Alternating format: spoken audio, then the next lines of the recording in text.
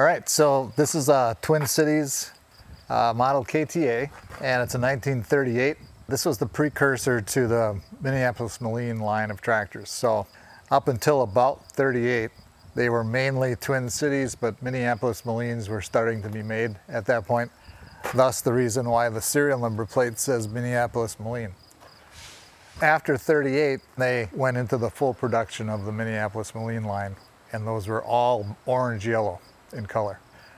These prior to 1939, 38 were mostly gray. However, some of them were repainted by the dealers. Not a lot of um, details on that, but we know it did happen. You can see there's some telltale signs here that this tractor may have been yellow at some point. Right here, right here. And before I restored the engine block itself, there was some signs of yellow in this area.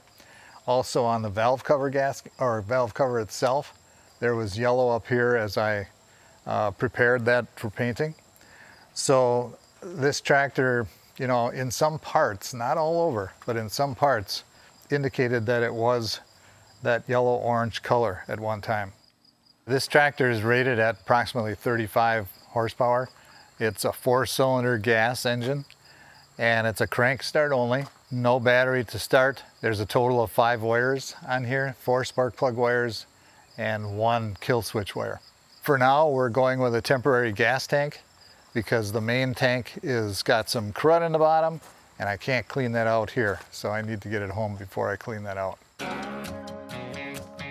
I purchased it in March of 22. It was in a pole barn in Clintonville, Wisconsin. Basically sat in that place for what I'm told is six years without being moved.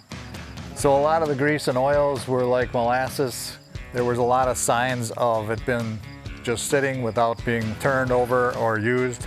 The engine was stuck. So Zach and I went up to Clintonville on a cold March day and we worked on getting some things freed up. The clutch, uh, checked the final drives for fluid levels, checked the transmission, and generally speaking, it was all full of condensation. So when you have a piece of equipment like this sitting for a while, condensation takes its toll. There was water in the final drives, there was water in the transmission, there was water in the crankcase. Drained that out. I uh, continued the process here, moved it into these storage units, and since then I've been uh, getting into it big time with the rehabilitation of the engine mainly. Head came off, had a valve job done, cleaned out the cylinders, lubed everything, got the clutch freed up. Everything from front to back really needed some kind of attention. Everything's filled and ready to be started and uh, we're hoping that we get some ignition and we see it take off.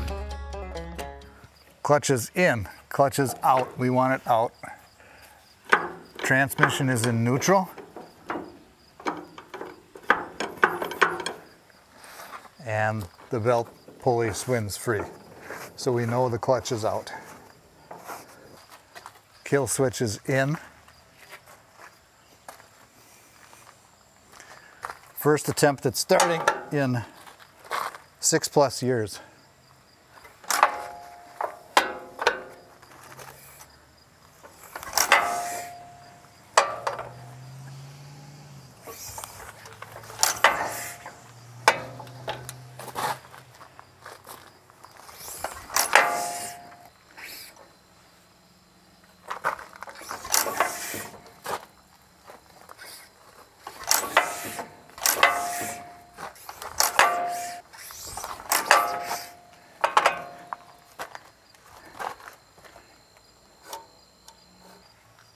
Go to half choke.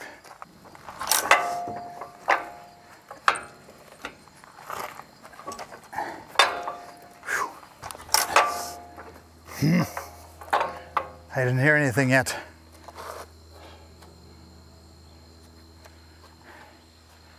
I'll go to full choke again. I think I might remove that ground wire on the mag just to make sure that it's not grounding the spark.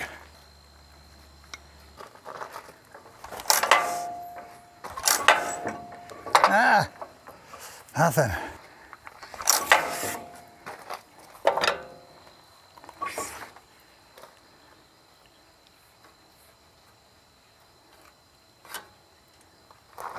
seemed like there was plenty of gas there.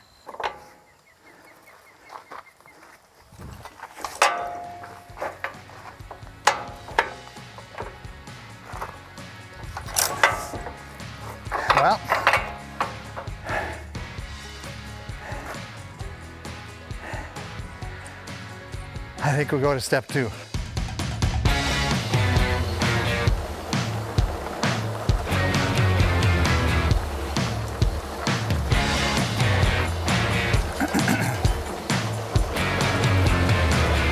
Hold it, stop. Okay, I just got to get my my brain in gear here. I'm to go into third. And you can go ahead.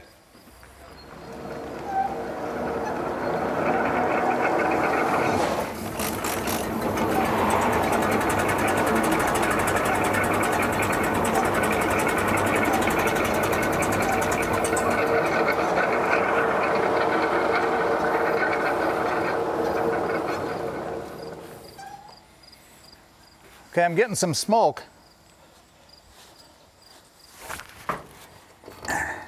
But no real fire, so let me change the setting of this mag.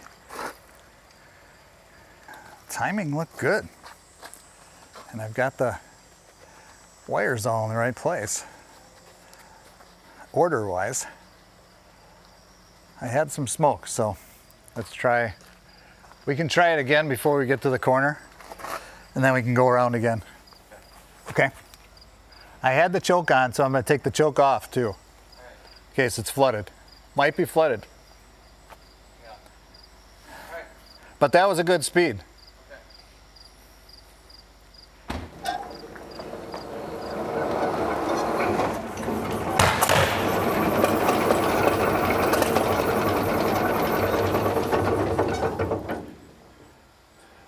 She uh, fired, obviously.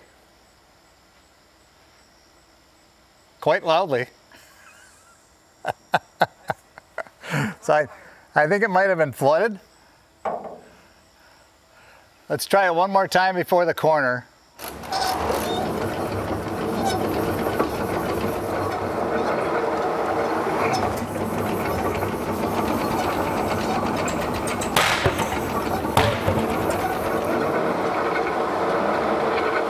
Okay, let's go around.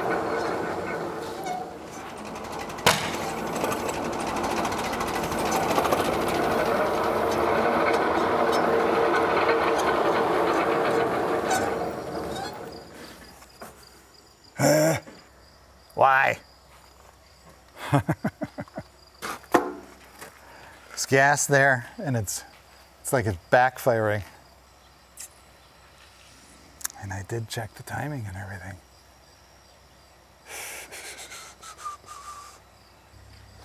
I'm gonna go totally rogue and take a chance and advance them all one. if this works, you can laugh at me.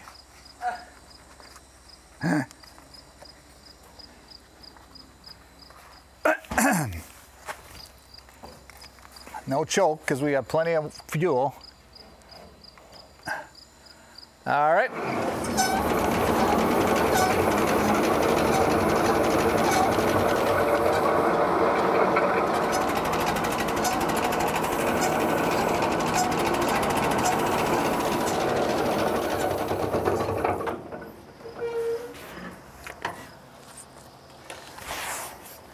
Okay, no fire at all. I'm going to advance them one more step.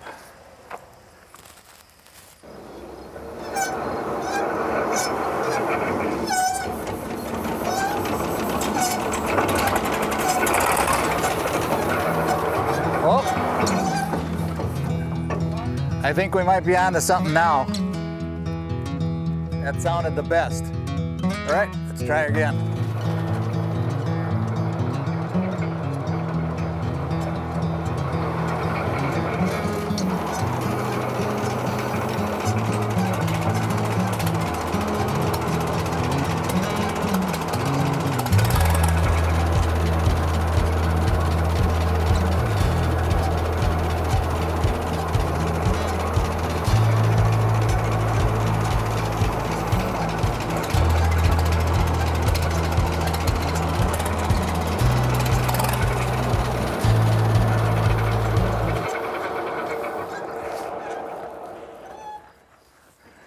Right, that was the best we've had. Let me just check, adjust the carburetor a little bit. Sounds good. When it's going. Yeah, it was definitely sounding better. And that was probably all four cylinders. It sounded like it. I don't like it.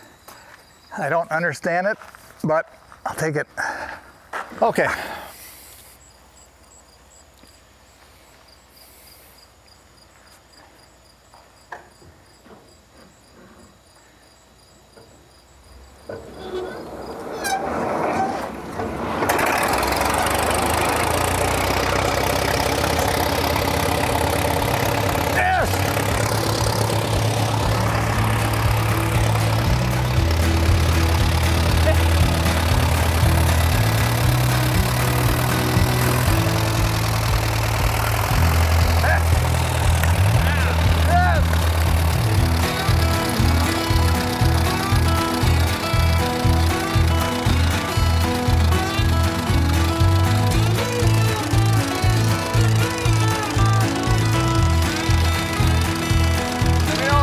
25.